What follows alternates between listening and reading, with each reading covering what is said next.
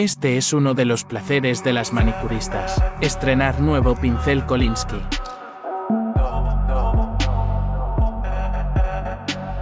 Ahora viene la mejor parte. Ablandarlo con monómero.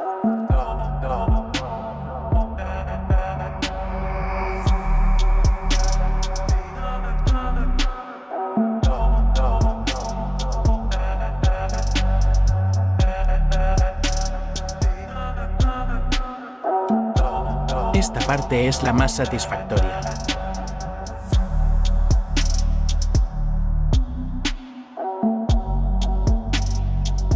El pincel ya está preparado para su uso.